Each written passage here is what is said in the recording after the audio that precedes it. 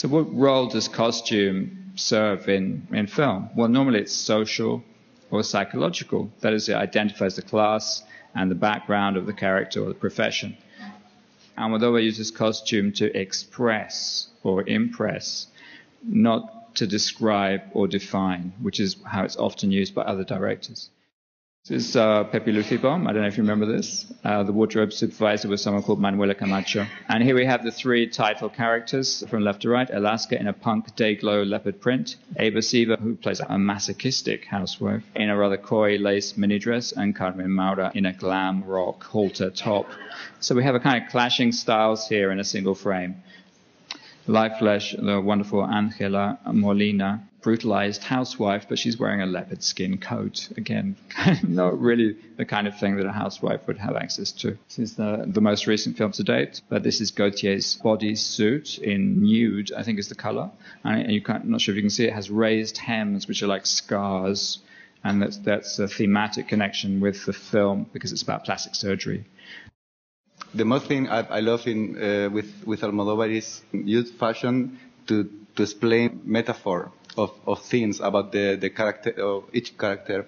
For example, when when when Paul show show us this image of Penelope in Broken Embraces with the gold change in Chanel, it's very um, disturbing because she like a prisoner, married with a man that uh, she doesn't love and in love with another man. So look at her with this golden change at the end, a, a prisoner or in a golden cage there, there is a lot of uh, moments about, about uh, with Almodovar, um, with close to, to, to fashion.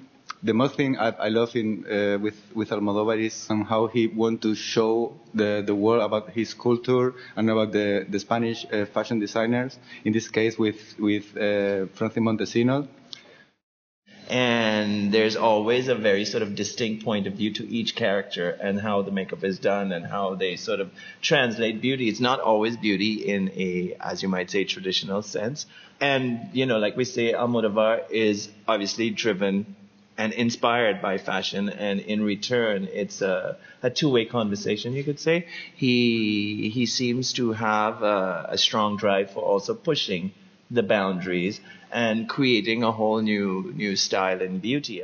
There is a very personal way to understand everything. All the, these colorful places, his real life is, is, is like this. Because he, he, for example, told me that when he started living in the in the new in the new house, he thought about okay, I will put the the white uh, walls and more quiet or whatever. But at the end, he he, he said I, I couldn't. At the end, I, I paint I paint one orange and one, and he mixed everything. It's, it's amazing. It's like a special vision of, and very personal. He mixes up as as David was saying, mixes things in a kind of an eclectic way too, because yeah, they simply don't go together. But, but somehow in his films he gets them to tie together well. Even the characters yeah, they simply don't belong in the same world. They're, they're, they're from different worlds altogether. But I think just the idea of taking it outside of typical reality and, and pushing all the boundaries and, and, and using elements of fashion and style and pop art and all of it and sort of mushing it together and, and what could become chaos ends up being these fantastic films. Mm-hmm. How do you see the influence or the dialogue of Pedro Almodovar with the fashion world? I mean, I can start by clearly saying uh, Rossy de Palma. She's just one of those fascinating people who has become hugely famous for being a character. She has gone on to be on the runways of Jean Paul Gaultier. She's a superstar, really, in the fashion industry, particularly. He famous designers, uh, you know, the Marc Jacobs of the world and people, and Chanel, uh, Karl Lagerfeld.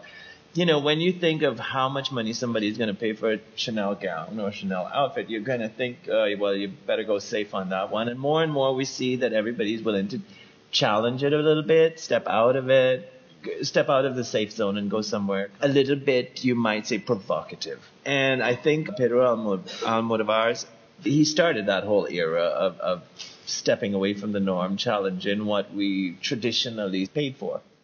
I would like to thank our speakers tonight for your generosity and everyone for being here. Thank you. Thank you.